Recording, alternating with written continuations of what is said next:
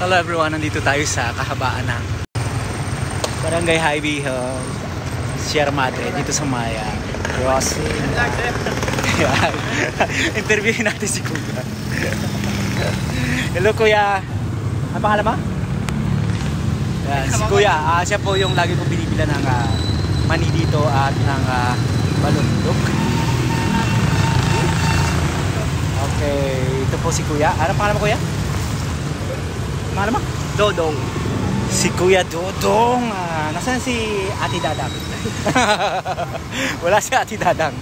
So, okay. Um, Kuya, ah, mawalang galang na sa iyo ha sa pag-interview. Hindi naman natin ano, ah, kumbaga, hindi, hindi, naman to live eh. Ah, i-edit ko ba ito pag ano?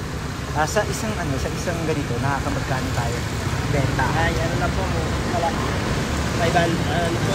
Okay, magtumal naman po kasi. Ah, pag matumal, magkano ang ah, Kinikita po. kinikita mo? Maganda. 300 400 lang po. At 300 sa 400. Ah, okay. Then, ah, mga anong oras ka nag-start? Kita na, alas dos po. Mga Alas dos. alas dos ng tanghali. Tapos natatapos mong ibenta yan, mga anong oras? Alas 4. Alas 4. So sa alas 4 ng hapon. Hanggang madaling araw. Ah, madaling araw, okay tayo, di ba? Sa pagtityaga ni Kuya, di ba? Dapat ito, ah, ang ganitong tao, ang ah, binibigyan natin ng tulong.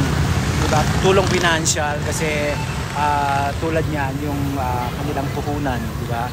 Kailangan nila ng puhunan para naman may pagkakitaan sila. Hindi katulad yan ng mga nang-hold up lang ng cellphone. Bak- kasi mamaya, baka ma-hold up tong dala ko. Hindi yan ma-hold Di ba kuya? Hold up. Bakit ang cellphone ko ma-hold up dito ha? Hold up yan. Okay. O ayan, so sa isang araw, ah, si Kuya ay kumikita ng ah, ah, 3 to 500 pesos. Depende sa oras ng kanyang uh, nilalagak dito sa kanyang Mabili sa kanyang paninda. So, pag mabili ang panin- paninda niya, ah, naubos to ng mga mga oras pag mabili yung paninda mo. Ah, kahit pag mabiling mabili eh. Pag mabiling mabili daw, ah, nauubos to ng mga alas alas 12 ng gabi. Yan. Oy, boy, ikaw naman, boy. 2 to 12. Kuya, interview bakit ka ba't nawala ka na? Yan si Kuya, ano din ako niya ng kanyang ah, fruit. Pineapple saka ng watermelon. Yan. Mamaya interview natin si si Kuya.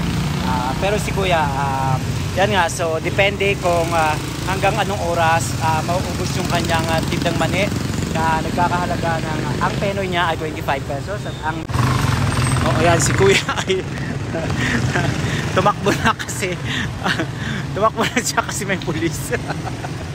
Yun, depende. Kasi wala kasing ka dito. Ah, wala silang permit. So, kapag sila ay ah, ah, may nakikitang pulis, yan, medyo naglalakad sila.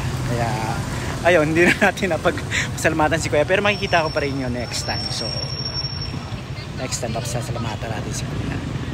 Thank you everyone. Thank you for watching.